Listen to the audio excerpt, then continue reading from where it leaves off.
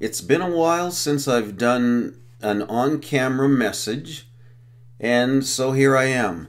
I want to talk to you a little bit about the authorized 1611 King James Bible. That is the Bible that came off the press in 1611. Now, I've recently written this book, The Real 1611 King James Bible. And at the top it says authorized. And over here there's a little KJV in a circle with a line through it. So this is not about the KJV primarily, although I am comparing the real 1611 King James Bible to the KJV. Now, those of you who have followed me and listened to me at all know that the 1611 authorized King James Bible is not the same Bible as the KJV. The KJV was made in 1769 by a guy named Benjamin Blayney. And Benjamin Blayney basically edited the authorized 1611 King James Bible, and he made a lot of mistakes. And I wrote this book to show people the problems with that KJV Bible compared to the real King James Bible. And the other reason I wrote this is to show you the truth of certain doctrines, and that is the internal witness of Scripture. A Bible that is truly the Word of God must have no contradictions in the internal witness.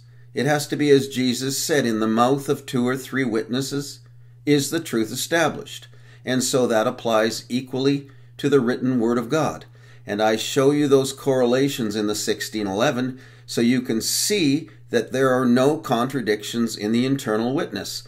And I also compare those internal witnesses to the witness in the KJV. The KJV does have contradictions in the internal witness, but I begin this book by discussing various aspects of the 1611, the real 1611, and also the basic principles of how we are intended to understand what is the Word of God. And that comes through the Holy Spirit. There's no other way. So I start the book out by talking about what Paul wrote in 1 Corinthians chapter 2. And he's very clear that to understand what is the Word of God, you must be indwelled by the Holy Spirit. This is not something you can understand superficially or carnally. So, what I'd like to do is read something from the introduction of this book to give you an idea what it's all about. Many people who have read this book have now changed to the real 1611 King James Bible, and I praise the Lord for that. And for those people, I wrote another book, and this is titled Everything Matters.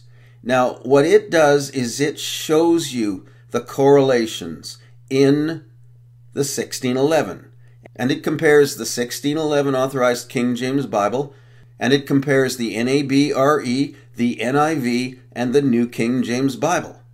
It shows that those Bibles have a corrupted internal witness. And this is meant for people, this book here is meant for people who have read this book and are now reading the 1611. It's more of a compendium and it's a study tool if you spend time in this wee book and use it to help you study your way through the 1611, it'll make the process a little bit more expeditious and help you to understand the principles that make the authorized 1611 King James Bible the preserved Word of God. There is no other equal. There is no other like it. So let me, without further ado, put my glasses on and read to you from the introduction. So here we go, folks. The real 1611 King James Bible. And here we have, I don't know if you can see that, it says introduction. So I'm going to read to you from the introduction. It goes like this Introduction Tingling Ears. Few have actually read the authentic 1611 Authorized King James Bible. However, many think they have because they've read the King James Version, KJV. And fewer still have carefully compared the 1611 Authorized King James Bible and the KJV. In this book, I will explain some of the critical differences between the two Bibles, both bearing the name of King James, but only one legitimately. All Christians acknowledge that the Holy Ghost illuminates Scripture, and without his indwelling believers, it is impossible to discern Scripture's deeper meanings. Yet few can explain the spiritual superiority of the 1611 authorized King James Bible over all other Bibles. For that reason, I have dedicated the first chapter to discussing the role of the Holy Ghost in opening our eyes to the truth of this matter. Jesus said that you must be born again, and you must be indwelt and led by the Comforter. Without spiritual renewal and empowerment from the Most High, we know nothing of scriptural value, and all Bibles appear more or less the same. I will explain how I overcame years of indoctrination by the institutional church, its scholars, teachers, and pastors. The misconceptions I held were the same ones most churched Christians believe regarding Bible inerrancy. I will dispel those misconceptions and explain the vital importance of authenticity and how academia's definitions of error and inerrancy are misguided and in many cases purely subjective and wrong. After that, I will explain what Scripture teaches regarding the inseparability of Jesus and His Word, and how they mirror each other perfectly. Then I'll discuss the translators of the 1611 Authorized King James Bible, referencing their introductory materials to show their attitude, method, and intent. In doing so, I will dispel many popular but misguided notions that Christians have been taught regarding the translators. After that, I'll provide direct comparisons between the authentic 1611 AKJB and the KJV showing many of the egregious corruptions that Benjamin Blayney introduced into his so called updated and corrected version. Most Christians are aware that the Apocrypha is not pure God breathed scripture and is not part of the canon. However, they have no idea why the translators inserted it between the Old and New Testaments in the 1611. I will explain why it belongs there and why publishers removed it once they realized its true purpose. From there, I'll talk about Bible lineages, history, and scholarly deception that has today spawned an incredibly lucrative commercial monstrosity, of which Christian publishers, media, academia, and the institutional church are cogs in its machinery. To accomplish this, the 1611 authorized King James Bible had to be stigmatized, diminished, and replaced by counterfeit and corrupt Bibles. Today you will be hard pressed to find an authentic 1611 AKJB in any pew in America, let alone the world. Satan's objectives have been achieved. He recognizes the pure testimony of Jesus Christ and has done everything in his power to corrupt, malign, stigmatize, and hide it.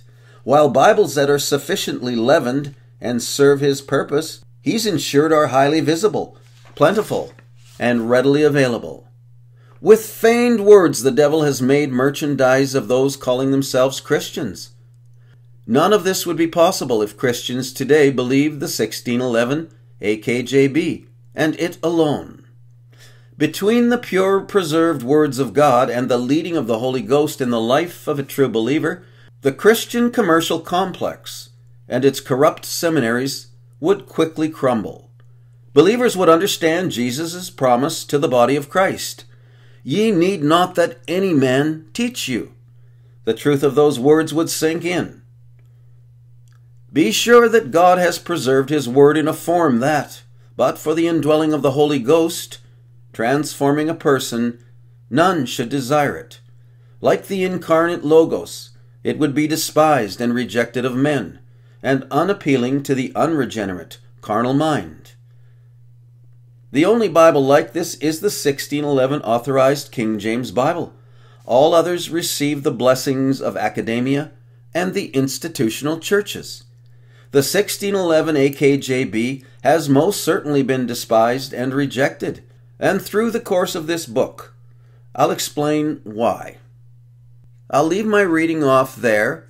That's page 14 of the real 1611 King James Bible, authorized. And perhaps I'll pick it up at another time, but I wanted to give you a sense of the flavor of this book that I've written and direct you to the 1611. Once you have the 1611, you don't need books like this, and you don't need me. But unless somebody teaches you and shows you, you won't believe. And you're not going to learn this in your industrial complex churches. The pastors are trained in seminaries, and seminaries teach a particular thing, and I hate to tell you this, but it comes right out of Mystery Babylon. It's Roman Catholicism modified for Protestants. So your pastor's not going to teach you this. He doesn't have the foggiest idea of what I'm about to tell you. And in most cases, what I've written in this book falls on deaf ears. Pastors do not understand what I'm talking about, and they don't want to know. Because if they knew, they'd have to change. And people would clear out of their churches, they would get kicked out of their denominations, and they would find themselves very much on the outside looking in. So the career pastors are not about to listen to the truth. And they're not about to teach it to you because they don't know it. How can they teach what they don't know? God bless. Thank you for listening.